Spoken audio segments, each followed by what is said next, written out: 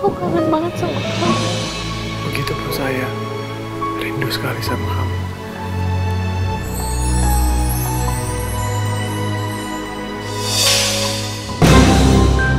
Marcel?